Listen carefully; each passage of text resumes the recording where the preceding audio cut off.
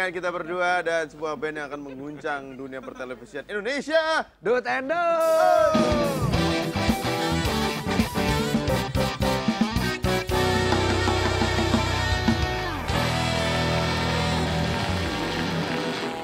akan membahas tentang apa yang lo akan menjadi itu. Oh gua. Terus nanti juga Dame akan menjadi itu. Paling dekat band Paling lah. dekat band yang akan menjadi itu. Iya. Iya kan? Iya. Orang kapan ya? Boni mungkin, Bon- Boni mungkin. Boni ya. Yaitu menjadi seorang ayah. Wih. Kagak orang ketawa dia. Dia ketawa. Dia ketawa dia. Oh, jadi bapak-bapak gimana ya? Ya bagus dia. Emang udah saatnya dia. Pada Saatnya. Iya. Kasih kasih blues dong biar kita menyanyikan sesuatu tentang itu. Anjay. Oh. Ya ya ya ya ya ya. Blues.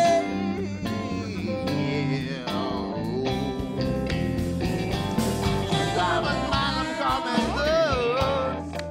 Kita akan membahas tentang kodrat seorang laki-laki. Laki-laki. Oh gua nyanyi. Iya. Masuk tadi. oh iya iya iya iya.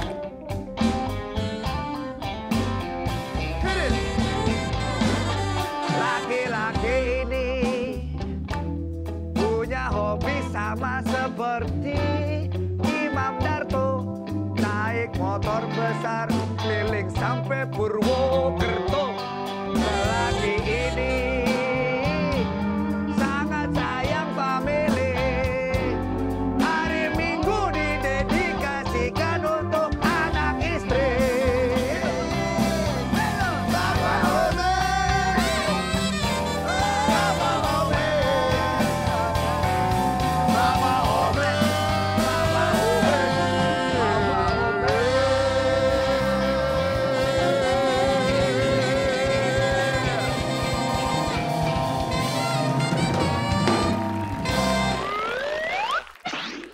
Tapi ini kita kan tergabung selain di motorbike kita tergabung di eh, anggota ayam kremes kita. Apaan tuh?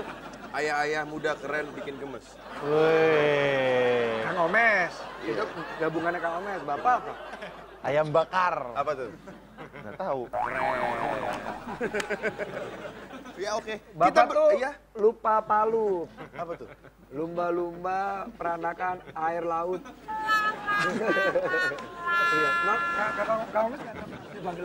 Kenapa? Wah, Ya, nanti ada ceritanya dari Kang semua di sosial media. Iya. sosial media motorbike juga, ih lumba-lumba, lumba-lumba. Ada misterinya Kang. Iya. Maksudnya apa sih Eh, lumba-lumba? saya Dolphin Warrior. Saya pe- Pejuang lumba-lumba. lumba-lumba. Karena gue suka ngelihat mereka di jadiin sirkus keliling gitu. Riani Jangkaru tuh hiu. Hiu, saya lumba-lumba. Lumba-lumba. Kita ada di segmen karena ada ayah-ayah di sini, ada ayah Dudi juga. Ayah-ayah keren. Karen nih, yoi manis kayak gila. Tapi eh, by the way eh, ada kabar gembira dari ayah Omes. Embun mau punya adik. Alhamdulillah. Belum ada yang tahu itu. Ya kan jadi tahu sekarang. Iya.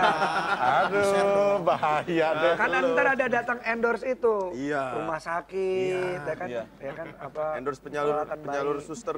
Eh, oh tari tortor, tari tortor. Tari tortor. Enggak, enggak. Endorse, endorse, saya terima. Oh iya. Kenapa gini? Iya, iya, iya.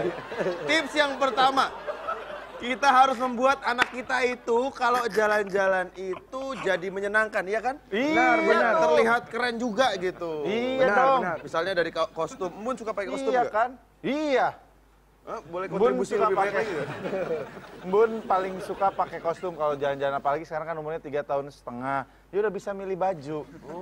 Mix and match yang nggak pernah match. Oh, anak kecil Gila. bebas. Bebas. Atasan kuning, bawahnya pink, sepatunya merah, pakai topi yang buat ke pantai. Keren. Tapi jalan-jalan ke mall bawa koper. Keren. Keren. Mungkin habis nonton The Upstairs kali itu. Oh iya kali, Jimmy Multazar. Orang ngeliat, wah ini bapaknya OKB nih kayaknya. Kita lihat yang satu ini. Siap ke Disneyland, ayah kreatif ini buatkan kostum keren untuk anaknya. Wah, Kan gerah itu ya? dikasih. Kita lihat videonya. Keluarga Garcia ini punya kostum sendiri tiap pergi ke taman hiburan. Gitu. Dan mereka pergi sampai 128 kali Hanya dalam satu tahun ya, 2015, 2015 aja 128 kali. Sebulan 10 kali ada lebih ya. Asli. Ini Nefti Garcia, pria berusia 32 tahun asal Florida. Atas kreasinya keluarga ini jadi populer, khususnya di Dis- Disneyland. Karena memang bapaknya bertugas menja- menjadi petugas karcis. Alah bukan, bukan. Oh, Ini bukan. bisa Bukan, gratis dong. gratis ya. Heeh. Jadi hobinya merancang kostum Disney ini eh, disalurkan ke keluarganya. Dan juga memang itu pendapatan utamanya juga, jadi Rancang rental. busana ya. Perancang busana oh, pantesan ya. Dan akhirnya, tebel. iya mesen-mesen kostum untuk anak-anak mereka gitu. Oh. Tips berikutnya apa kita? Tips berikutnya, kita harus membuat anak kita mendapatkan segala keinginannya. Oh, ya kan? iya. Segala sesuatu karena kan biasanya gitu kan. Ya. Tapi kita harus ngajarin juga sih kalau menurut gua. Hmm. Kalau buat anak tuh tidak semua harus diwujudkan. Jadi carinya yang terbaik gitu. Oh. Gak ngerti gua ngomong apa ya? Jadi biar enggak Nah, maksudnya iya, jangan. Biar dia ada- ada- Ini diturutin, ini diturutin. Nah, itu. Kalau gua sih iya. Lah, lah. Ini kita lihat nih, ini nih, nih, nih. Kayak yang satu ini, kayak Iya, satu iya. ini. Keren abis, sang ayah membuat kerajaan baru untuk putrinya aja. Biasanya kan kalau orang tua ngasih bu- anaknya boneka princess, ini Hmm. kerajaannya. Yang bikin ini Jeremiah Heaton, Kingdom of North Sudan. Gitu. Jadi si Emily Heaton anaknya dijadikan putri kerajaan sungguhan. Wah, Gitu. Ini mimpi tergila anaknya untuk menjadi seorang princess ya. Soalnya si Jeremiah ini cuma petani dan punya tiga orang anak. Gitu. Hitan melakukan perjalanan ke Bir Tawil, perbatasan antara Mesir dan Sudan. Dan akhirnya dia resmi menancapkan bendera kerajaan di lahan itu. Pas ulang tahun ke-7 si Emily. Oh. Akhirnya ya dia punya Hitam, kerajaan. Langsung ya. dikasih beneran sama si Mesir. Nih buat jadi kerajaan kamu gitu beneran. Bisa ya? Diwakafin gitu. Iya kayaknya. Akhirnya Kingdom of North Sudan tuh jadi punya dia. Ada, Ada. berdiri. Prinsesnya Untuk si Emily. Hitton. Mm-mm. Emily Iya. Hitton. Luar Luar biasa. Iya kan? Ayah keren. Masih seputar ayah-ayah keren seperti dua orang ayah ini. Ayah tuh harus kreatif kan? Iya benar. Kita tanya, Om Dudi udah pernah bikin apa untuk anaknya yang kreatif? Saya pernah bikinin Lagu, drum set- lagu. drum set buat anak saya. Drum bikin? Iya. Bikin? Bikin. Keren. Habis dibeliin nggak suka terus maunya yang pakai gini pakai karton sih. Tapi tips berikutnya, Iya. sebagai ayah kita harus pintar ini mendokumentasikan eh, semua kegiatan anak-anak kita. Iya kan, foto, video, dan segala macam ya. Kita lihat yang satu ini. Seorang ayah membuat foto anaknya seolah terbang.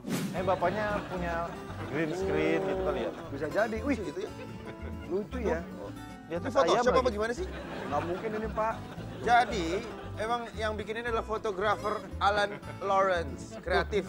Meracik foto sang anak seolah-olah terbang. Oh, emang Photoshop ya. Oh, Photoshop. Si William Lawrence ini jadi bintang utamanya, gitu. Dan memang anaknya ini menyandang Down syndrome. Oh. Itu dia tadi tips-tips ayah yang keren. Tapi dari info yang kita dapat, Embun ini anaknya Omes pernah curhat ke guru sekolahnya, ayahnya nggak pulang-pulang. Nah, waduh. Coba kasih la- sedih lagu-lagu sedih cerita sedikit. Mbun mungkin ingin bicara di sini. Oh nggak mungkin. Eh, eh. Keren. Oh emo emo biar emo. Jadi waktu itu di sekolahnya Embun gua anterin. Padahal gua tuh nggak sesibuk bapak-bapak ini loh. Apaan? Program lo tiga. Nggak sesibuk bapak-bapak yang lain deh. Soalnya kan apa namanya? Gua tuh wajib eh, antar jemput anak gua itu wajib Selasa dan Kamis. Gua hanya bekerja hari Senin sampai Jumat. Gua tidak mengambil pekerjaan Sabtu Minggu karena gua, waktu gua dengan anak gua, ya kan? Dan gua tidak mau eh, kalau ada acara sekolah mau syuting apa pun udah adil apa pun harus izin dulu, harus dimundurin yang penting buat anak. Itu tuh udah segitunya tuh. Tiba-tiba suatu hari gue nganterin anak gue seperti biasa rutin. Karena kebetulan satu minggu gue harus ada syuting dari berangkat pagi pulang pagi. Nah terus gue nganterin ke sekolah lah. Tiba-tiba pas pulang anaknya nangis. Terus bu gurunya manggil, "E, Pak Omes bisa ketemu sebentar sama mamanya juga. Gimana bu? Ini anaknya dari tadi sedih katanya. Terus ngobrol sama temen-temennya. Terus ngomong sama bu guru Kenapa Embun? Aku sedih, aku kangen sama Abi, panggilnya Abi. Aku kangen sama Abi, aku sedih. Soalnya Abi nggak pulang-pulang, aku mau main sama Abi, katanya. Uh, saat itu juga gue langsung, itu ada tiga program, cut dulu deh. Keren. Kita akan menutup program ini, eh, eh, eh, segmen ini dengan permintaan maaf seorang ayah ke anaknya. Silahkan. Silahkan. Bun, Abi sudah berusaha sekuat tenaga buat kamu. Karena Abi kerja buat siapa sih? Buat apa? Buat beli apa? Motor. Salah, salah, salah. Yang kesekian. Yang utamanya kamu, Umi, dan calon adik kamu.